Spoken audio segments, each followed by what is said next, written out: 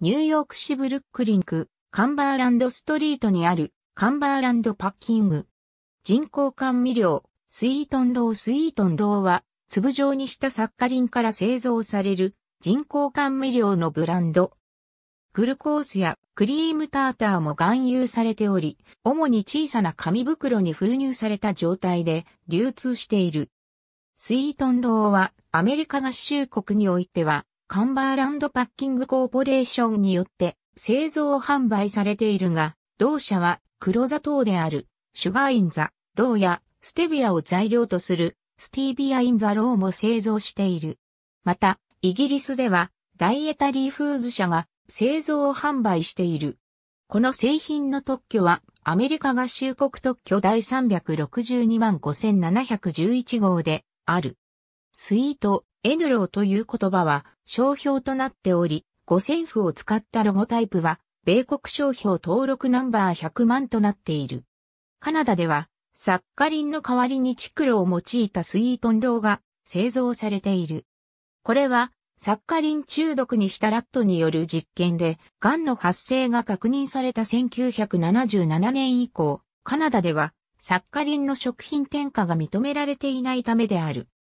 2014年になって近年の研究では先の知見が誤りであったことが判明したとしてカナダはこの禁止措置を撤廃し数カ国がこれに追従してサッカリンの禁止や警告の措置を撤廃した。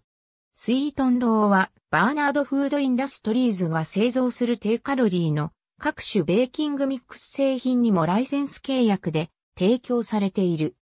サッカリンが最初に発見されたのは1878年で、ジョンズ・ホップキンス大学でコールタールの誘導体を研究していた科学者、コンスタンティン・ファールベルクが発見者だった。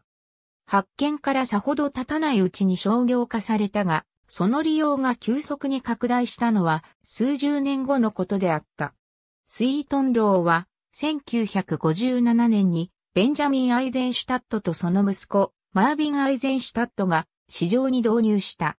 父アイゼンシュタットは以前に砂糖用の紙の小袋を発明したものの特許取得は認められなかったが、小袋入りの人工甘味料はその副産物であった。不死は粉末状の人工甘味料を市場で売りさばいた最初の例となった。彼らの発売元となったカンバーランドパッキングコーポレーションは今もこの製品を管理している。